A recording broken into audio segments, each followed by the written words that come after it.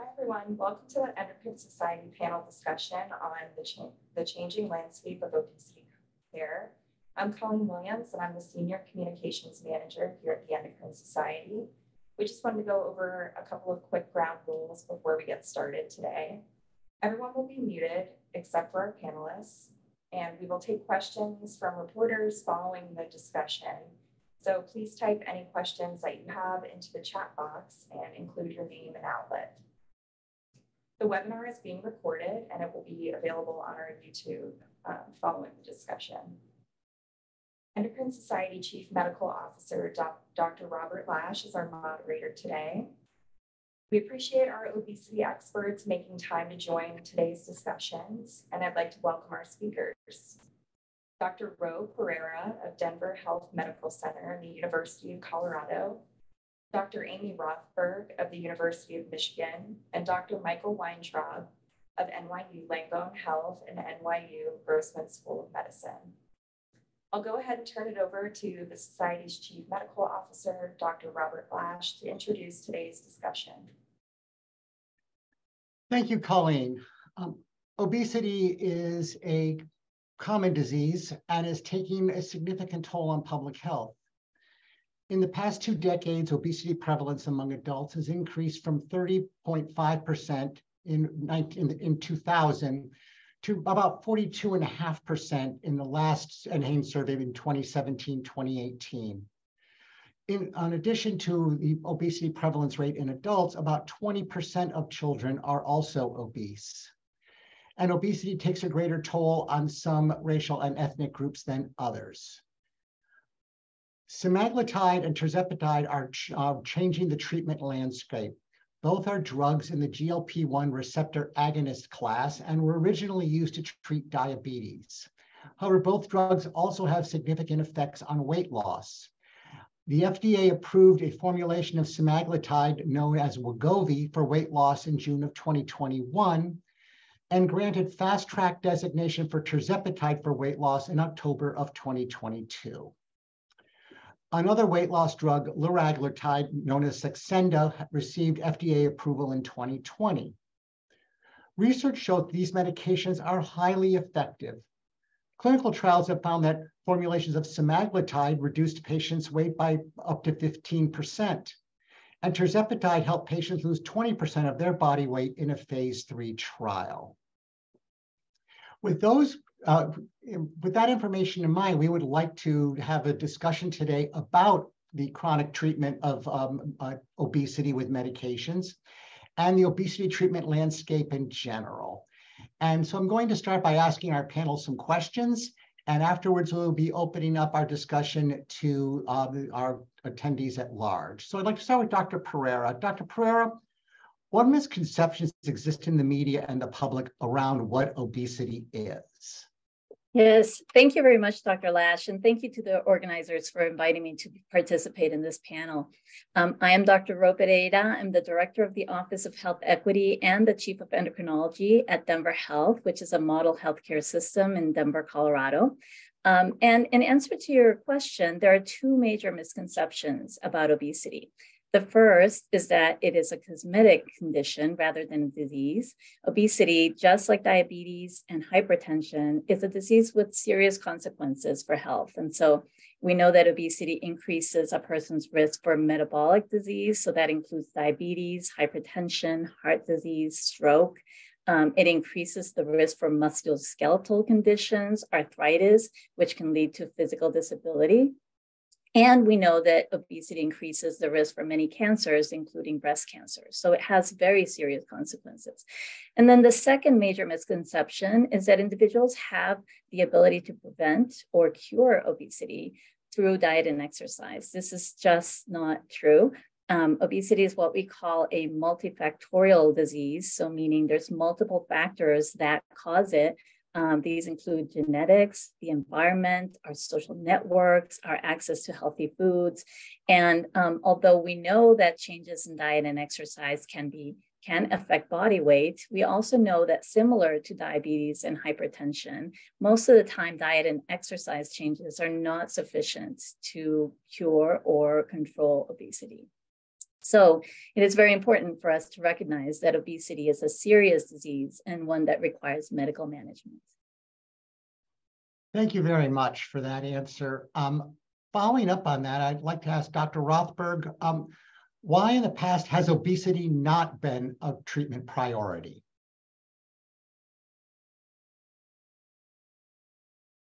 Thanks, Dr. Lash, for that question.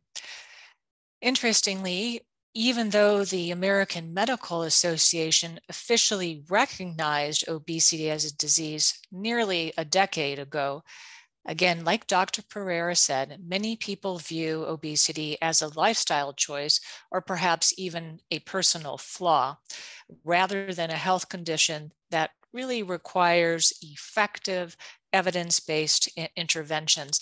And I think we should view obesity as we do other diseases, just like she said, such as high blood pressure. I would go as far as talking about uh, an analogy to HIV and AIDS.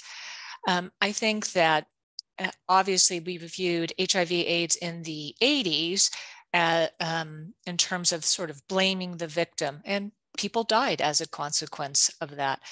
Uh, even cancer for, may, uh, for many may be considered a chronic disease, but we look upon someone living with cancer as having a lot of courage. We don't afford that same dignity to people living with obesity. And so I think it really puts in peril um, those people living with obesity. It unnecessarily stigmatizes them. And so they are not accessing healthcare as they should.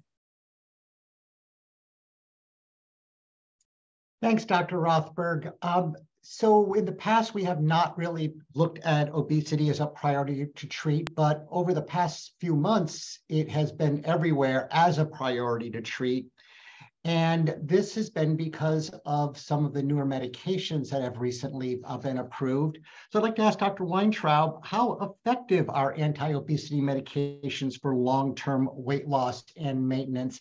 And could you talk a little bit comparing the newer drugs we have available now with the drugs that we had before and why things may have changed because of what the new drugs potentially offer.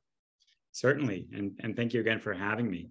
Um, and I think a good place to start before talking about how effective anti-obesity medications are is looking at and discussing what's the effectiveness of lifestyle changes.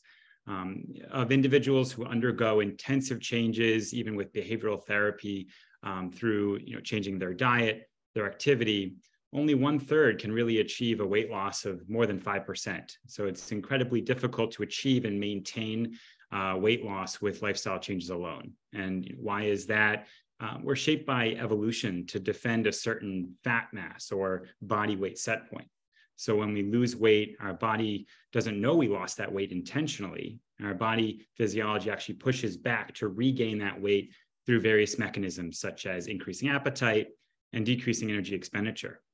So all the studies of intensive lifestyle changes follow this familiar pattern. We have this period of weight loss and then this slow but inevitable regain of that weight.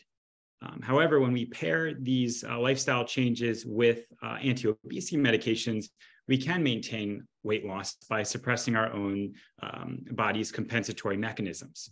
Um, so medications we utilize uh, usually act centrally, so on those appetite centers of the brain, um, to decrease food cravings and intake so that weight loss is sustainable. Um, there are a growing number of FDA approved anti obesity medications that demonstrate weight loss and uh, that can be maintained long term. Um, so, in response to your question, Dr. Lash, regarding kind of the, the, the, these newer generation of medications compared to what we had previously, um, so we conducted a retrospective review um, of 428 patients who presented to our academic weight management center um, and this is before the GLP-1s and GLP-1 GIP uh, agonists were widely available. Um, and these patients were offered anti-obesity medications and were followed for a period of three to five years. And these patients lost and maintained 10.4% of their body weight. Um, so in this cohort, that amounted to 23 pounds. Um, and this weight loss was maintained through the end of that study period, a median of 4.7 years. Um, so we demonstrate in this study that anti-obesity medications are effective and not only in that clinical trial setting, but also in the real world setting over a long period of time, um, up to five years. Um, and weight loss with that magnitude, 10% or more, we know can reverse these metabolic abnormalities that we might see with type 2 diabetes, with cardiovascular disease, and other diseases where obesity is that root cause. Um, and uh, as Dr. Lash pointed out, now we have semaglutide. Um, so that showed in its step three trial that it was effective for weight reduction, specifically in these patients with obesity, with the 15% weight loss on average when combined with lifestyle changes. And then now the newest drug, tirzepatide, in the SURMOUNT-1 trial, again of patients specifically with obesity, uh, demonstrated a weight loss of 22% on that highest dose of tirzepatide. So now uh, we have even more effective tools to help patients lose and maintain uh, a greater degree of rate, uh, weight loss. Uh, and we can thus reverse or prevent those complications of obesity. Great, thank you so much for that. Um, going back to Dr. Pereira, um, so with that in mind, with Dr. Weintraub was just discussing, um, why do you think anti-obesity medications have been what many, many, people say underutilized in the past? We think yeah. that there are 42% of patients have obesity, um, and a lot of people are also overweight yet the num the percentage of people who are on any kind of anti-obesity medication or even in a behavioral program is actually quite small. And could you comment a little bit about why you think that might be? Yeah, absolutely.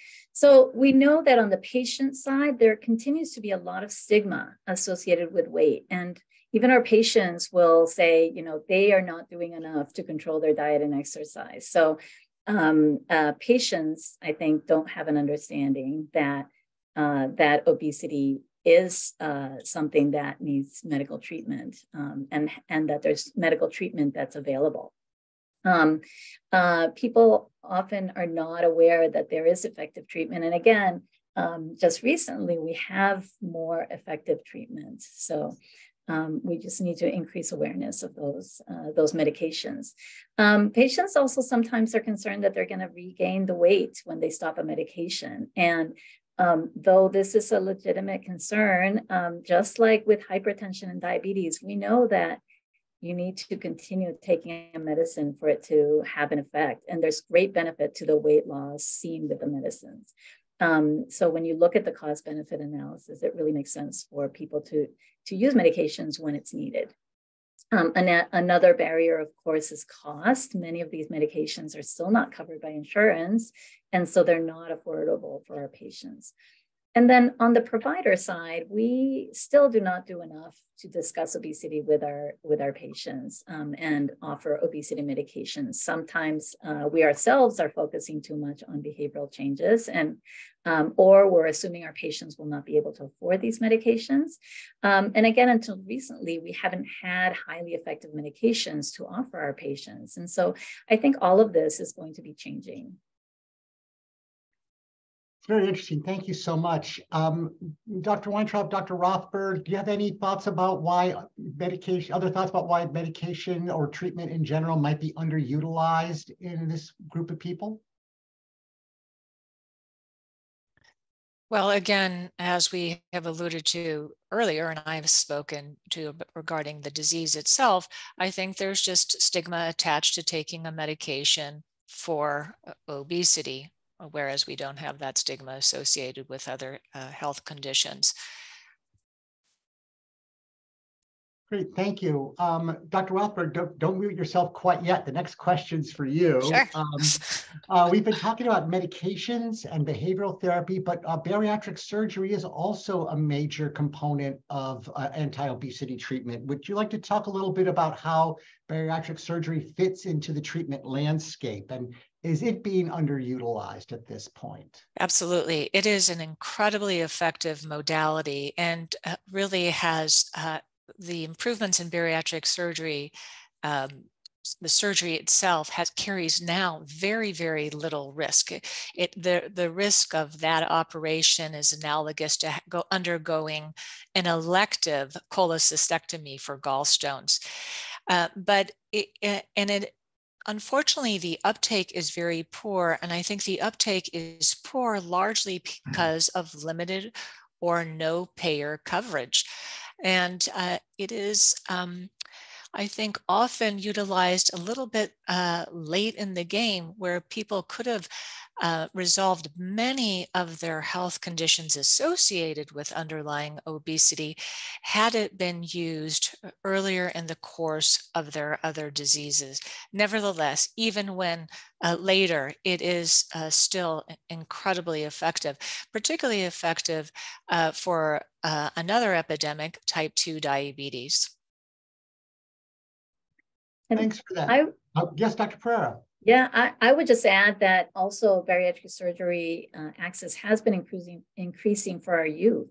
Um, and when you think about the possible benefits to treating obesity in uh, somebody who's younger, who has their whole life ahead of them, and um, the, the consequence of uh, having to battle diabetes and possible consequences, di- um, diabetes and hypertension, um, as opposed to having a, a, surgery. You know, this is really um, important to consider extending those services to our youth. And and to piggyback off of Dr. Pereira and uh, Rothberg, um, the with the growing um, uh, safety of these uh, procedures, um, actually, one of the major um, guidelines uh, published by the American Society for Metabolic and Bariatric Surgery uh, just came out with a modification um, several months ago where they lowered the BMI cutoff of those who they would recommend surgery for. Um, so that body mass index of anyone greater than 35 um, now is, is, the, as a recommendation that they would be eligible for bariatric surgery, along with uh, those with a BMI greater than 30 who might have comorbidities uh, such as type 2 diabetes. Um, however, you know, just like we mentioned before, um, there's still a lack of, of uh, payment by insurance, even with this these lower cutoffs. So hopefully that will change and, and be corrected in the future. Um, staying with that theme of barriers to treatment, Dr. Weintraub, could you talk a little bit about what some of the barriers are to obtaining medications to help treat obesity? Mm-hmm. Yeah. So, yeah. So, as Dr. Pereira just mentioned, um, I think the most notable barrier is the cost uh, to patients for these uh, these uh, newer medications. Uh, many insurance companies are choosing not to cover uh, medications for the treatment of obesity, um, and these new medications are expensive. Um, uh, without insurance coverage, many patients are unable to afford them, and those patients who are unable to afford them are also the ones that are most vulnerable to the consequences of obesity. Um, so continued lack of insurance coverage only will widen those health disparities that we have in our, our country. So hopefully this uh, will be corrected in the future. In your experience or the experience of anybody on the panel, have um, drug shortages played a role in people being unable to um, obtain medications for treatment? Most certainly. This is one of the major problems that we are seeing, particularly since October of last year, although this has gotten better more recently. But there was were national shortages, largely caused by, I think, um, uh, direct-to-consumer messaging um, and uh, uh, and being prescribed for um, maybe largely inappropriate reasons, but also manufacturer issues. I, I, think we're reaching the end of that, though, um, sort of like the end of inflation, I hope. Uh, so, no comment. Um, but so I, I, am pretty sanguine that uh, these are going to be available um, or um, that people are going to have uh, access uh, to them now. And I would add, in terms of the shortages that we're seeing, that uh, I'm, I'm glad to hear that those shortages are hopefully ending. Um, but just thinking about who those shortages affect the most, it really is those those populations that are um, that have the lowest resources, and um, you know uh, the people who have the resources and have the money are uh, are the ones that are more likely to be able to uh, get the medications when they're, especially when there's those shortages. Thanks for that. Um, and um, moving on to um, when the medications are more readily available, um, who would be who's a good candidate for anti-obesity medications? Dr. Rothberg, I'll let you go first on that one. Well, I think anybody who continues to struggle um, to maintain or achieve a reduced weight despite you know, vigorous and rigorous attempts at lifestyle intervention. And even those who have undergone bariatric surgery, uh, but are uh, seeing an uptake in their weight. Uh, weight. Again, uh, these are all due to uh, our underlying biology. I think, in fact, that um, we, again, like bariatric surgery, should probably uh, I would argue in favor of even um, uh, ratcheting down the indications for uh, obesity medications starting earlier at perhaps lower BMIs, just as they've done with bariatric surgery, and really for those who are at great risk, who have underlying risk factors. Um, but right now we have certain clinical indications for whom they are appropriate. That is those with a BMI of 27 with weight-related comorbidities or a BMI of 30 and above. Now, one of those weight-related comorbidities would be diabetes. Um, and so I wanted to ask Dr. Pereira if, if, if, people who with diabetes are having trouble accessing these medications, either for their diabetes or for their diabetes and weight status if, if, if, if that's appropriate. Yes, absolutely. Yeah, though we know that those newer medications improve blood glucose, they improve um, heart function, um, and they help with weight loss, they are still a lot of times not covered by insurance plans, or people have very high copays, and so they're not able to afford them despite all the indications for using them. Um, we also just talked about the shortages, of course, of medications, and, and, these affect people with uh, diabetes as well as everybody else who doesn't have diabetes. So these two issues have been a problem for our patients with diabetes. So one, Dr. Pereira, just to follow up on that, one problem you know, that endocrinologists have talked about for years is that when patients with diabetes need to go on insulin, that the idea of giving themselves an injection is a, a bit of a um, roadblock to overcome.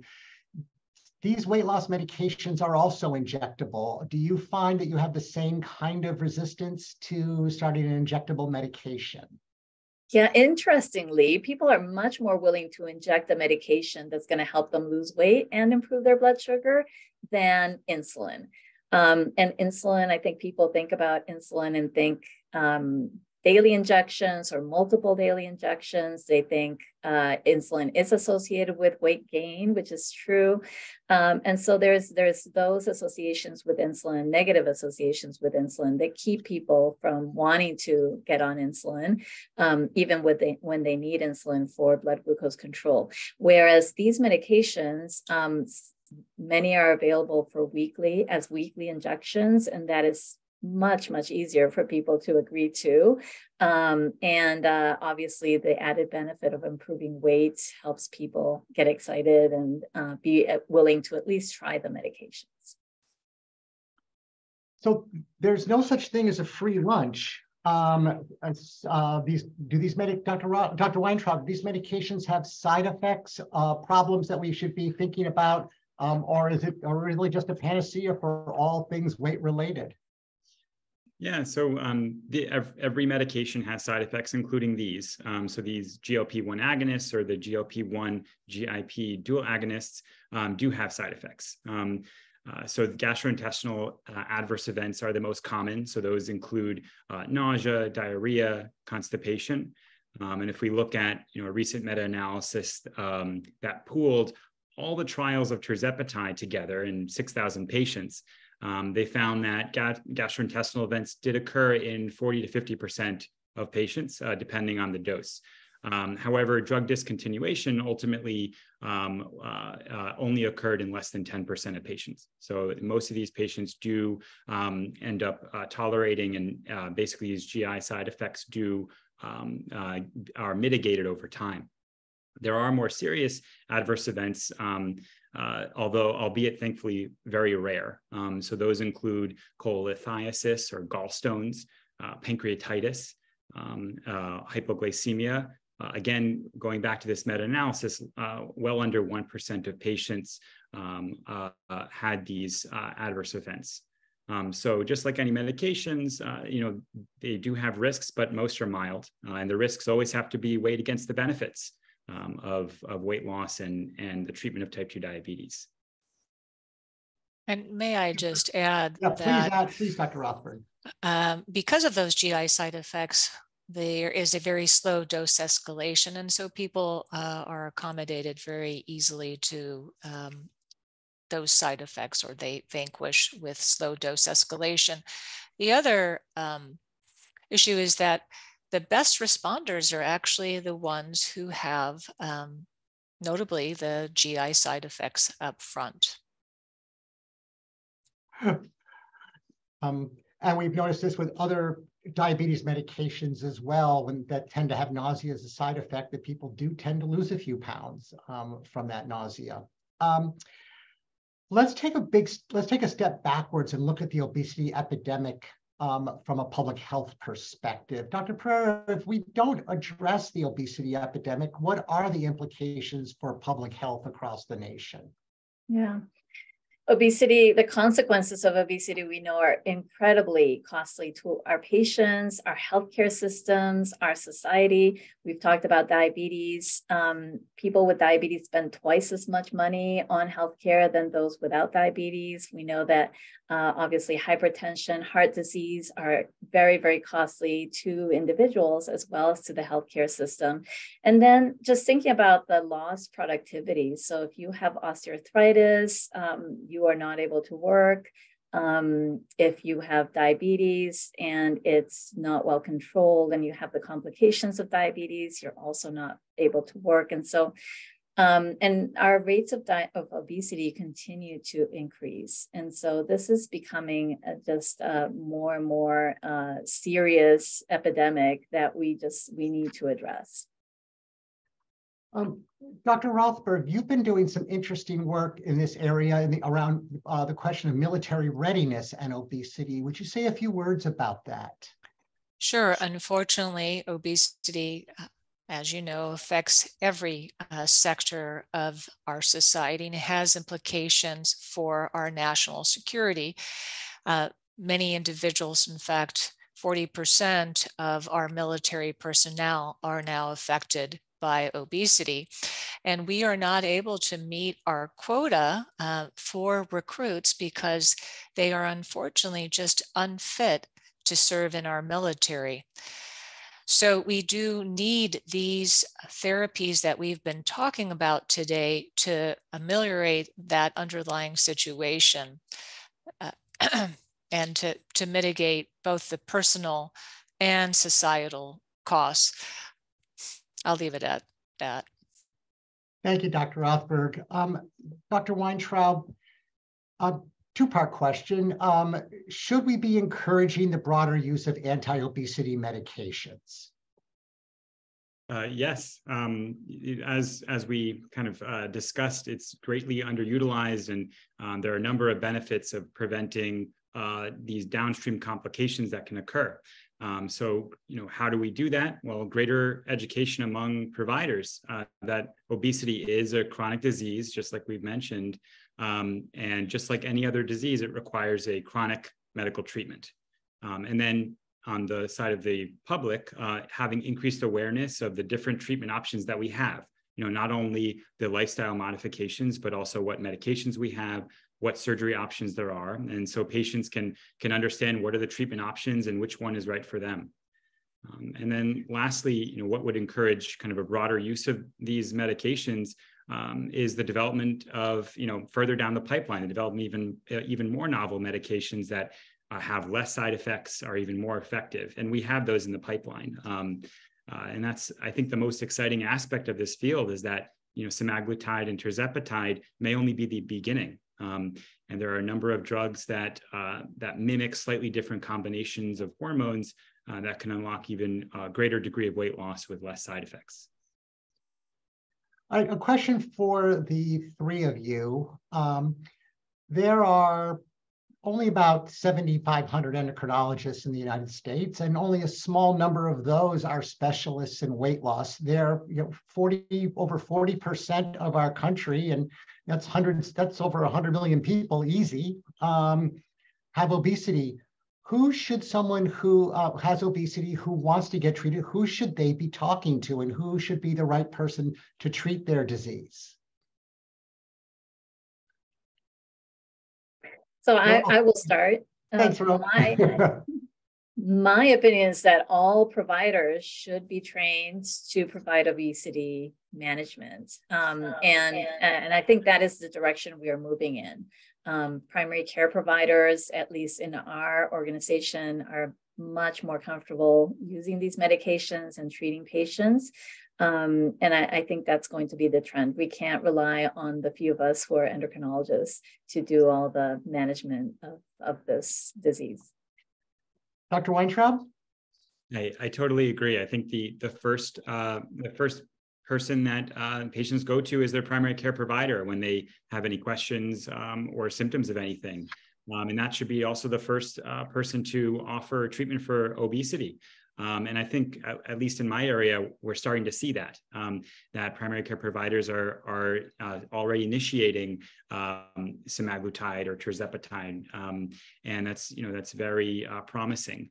Uh, and so greater education to primary care providers that you know this is a chronic disease and requires chronic treatment um, and and kind of dissemination to all the patients i think that that is you know something that we're already seeing which is great and dr rothberg you get a you get a modified version of this question. Um, if a primary care provider is a great place to start which patients are best to see in a, a specialist such as an endocrinologist for help with obesity treatment? So I think those who have more challenging uh, comorbidities, particularly those perhaps uh, like type 2 diabetes on insulin, where medical monitoring and adjustments of insulin and other medications need to be done.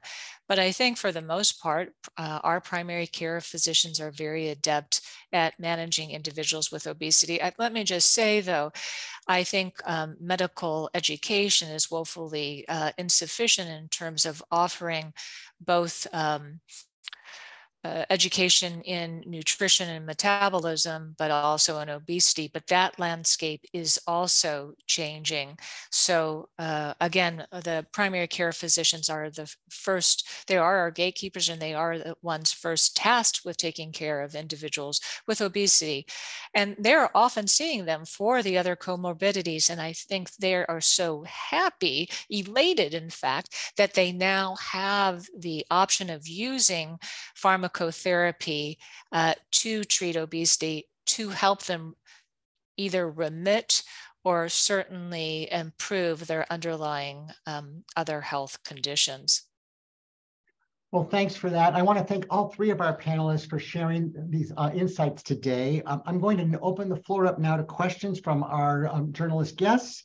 And please type your questions into the chat window and don't forget to include your name and your affiliation. And with that, I'm going to turn this over to one of my colleagues, um, Colleen, who's going to help um, with these questions. Thank you, Rob. Go ahead and open up the chat window here. Um, okay, our first question is from Mike Monostra um, at Endocrine Today. When it comes to shortages for anti-obesity medications, did any of you on the panel experience these shortages firsthand? And can you speak in more detail about why these shortages happened? Was it because of supply chain issues, direct to consumer messaging, or something else? I know that was a long question, so if you need me to repeat, just let me know. So I can address that. Oh, sorry, Ro. No, no, go ahead, Amy.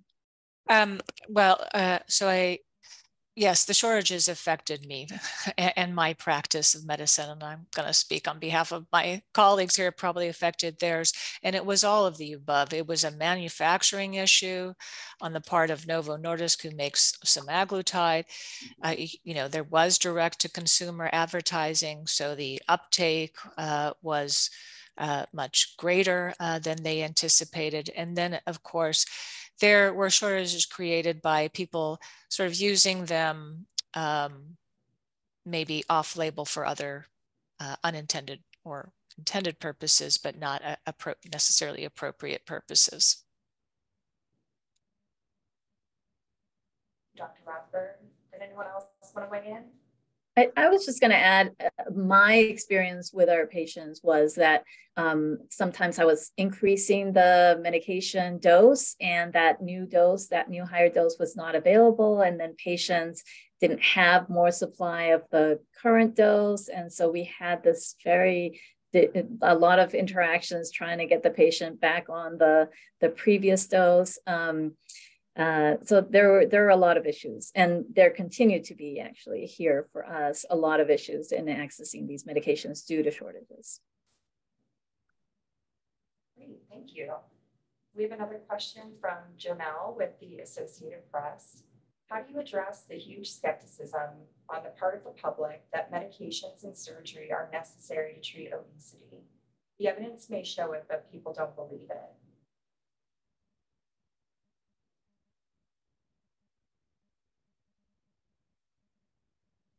I think this gets back to this stigma related to obesity and not considering it as what it is a disease rather than a lifestyle choice.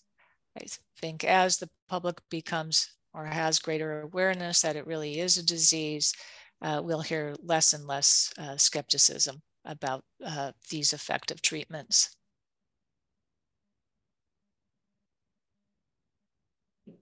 And I would add, we we need to somehow um, separate the the image piece to the and the disease piece or the metabolic consequences or the disease consequences of obesity. And so um, the fact that you need medication to control obesity does not mean that it, any weight is um, in particular uh, a, a bad thing in terms of appearance or that you have to have an ideal body weight in order to be healthy. But we know that obesity is associated with these diseases. And so thinking about what, what is it doing to our um, body and where are the risks for disease um, with the, the current weight of that individual is really important. Great, thank you, Dr. Pereira. Uh, the next question we have here is from Kristen at Clinical Advisor. Do we have enough research on use of newer obesity medications in the pediatric population to support the AAP's recent recommendations on obesity treatment?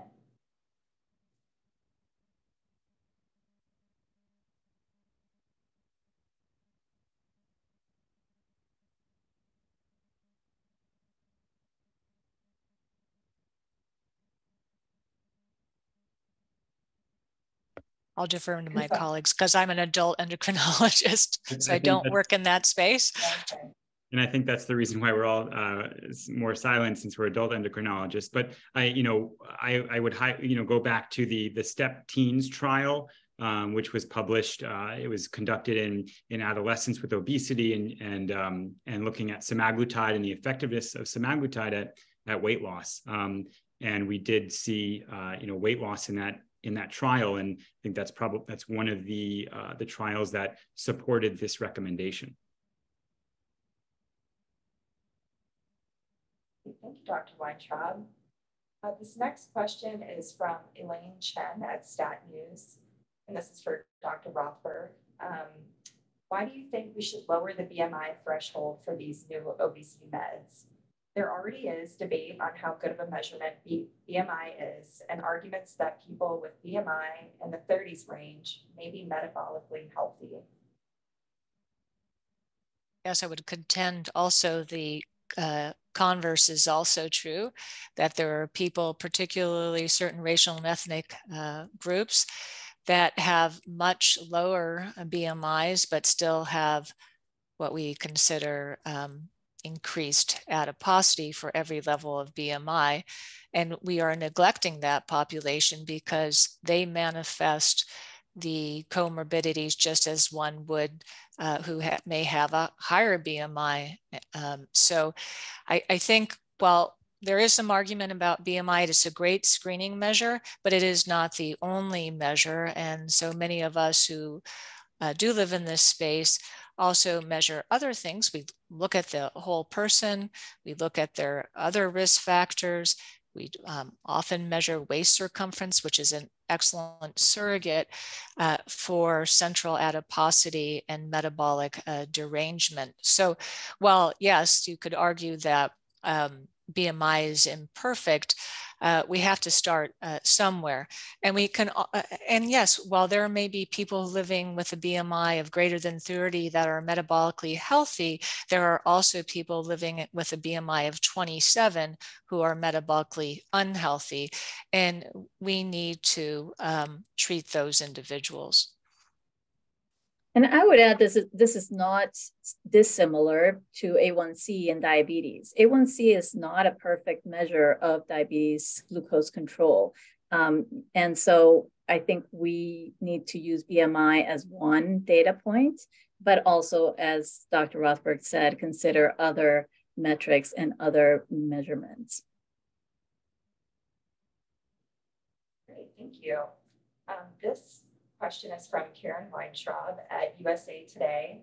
Can you please talk about long-term safety and effectiveness data for the newer medications? Do we have five-year data that shows improved health and maintenance of weight loss? And what about for use depending developing bodies? Um, I can take that uh, question. Yes, no relation. Yeah. Um, so we've had this class of medications, the GLP-1 agonists. Um, the, the first was uh, approved in 2005, or exenatide. Um, so we're going on 20 years worth of, uh, almost 20 years worth of data.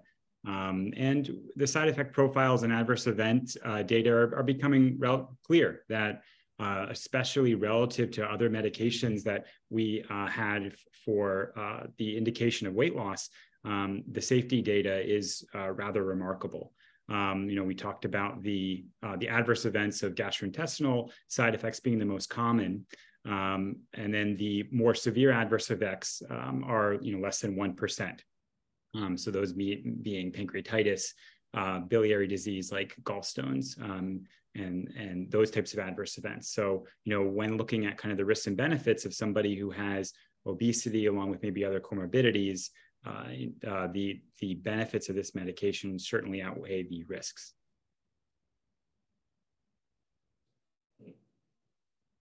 Uh, we have a couple questions here from Medscape. Do we have any idea of the um, attributable part of metabolic control provided by semaglutide and or tirzepatide that is not related with the direct action on glycemic This question is related to the use of these new medications in patients with type 2 diabetes.